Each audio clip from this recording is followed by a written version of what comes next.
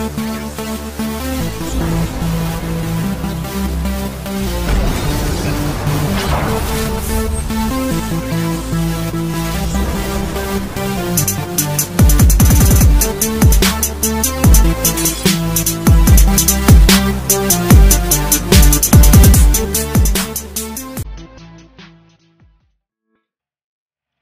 nyo ba,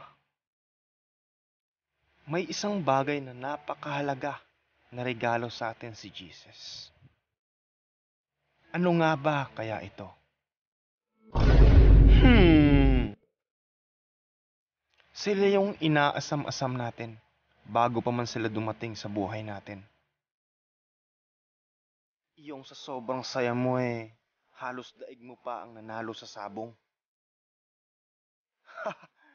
Nakakatuwa lang eh. Yung iba halos ginagawa lahat ng bagay makabuo lamang. Pero wala pa rin eh. Nakakalungkot lang pero totoo. Pero alam nyo ba, ang pinakamasakit dito, eh habang nagpapakahirap yung iba sa paggawa, yung iba naman eh inaabuso, minamaltrato, sinasaktan, binububog, lahat na lang, kawawang bata.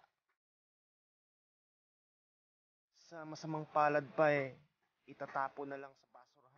Iiwan kung saan saan. Kawawa naman. Parang gusto kong magmura. Nakakasakit lang ng damdamin. Minsan pa nga eh, di pa kumakain. Gutom na gutom. Kumakalam ng sikmura.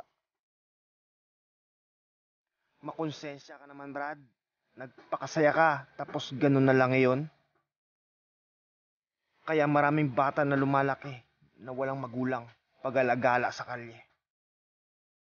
Sa totoo lang, wala silang kasalanan, hindi nila alam kung anong magiging buhay nila.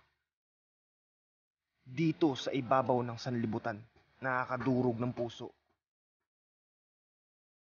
Kaya pahalagahan natin sila, mahalin natin sila.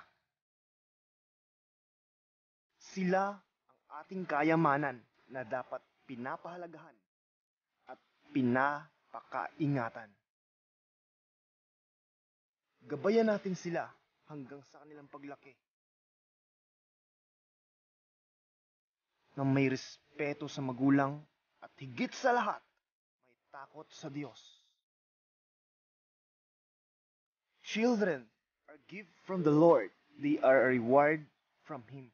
Psalms 127 verse